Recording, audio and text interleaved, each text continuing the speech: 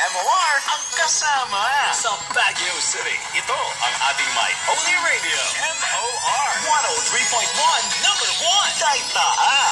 Every day I turn my radio on Nakikinig sa my one and only radio station Nasaman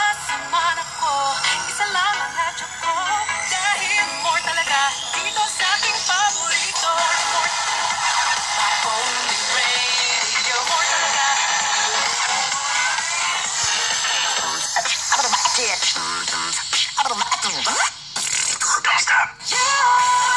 radio,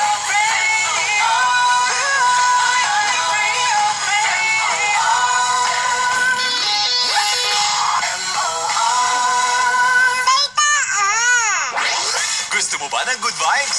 O gusto lang mag-share ng good vibes? It's more sa tanghali! Ang lunch break ko super galing Kapag ikay kapilar sa tanghali pag may MOR Kuya pa extra rice pa nga dyan. It's more not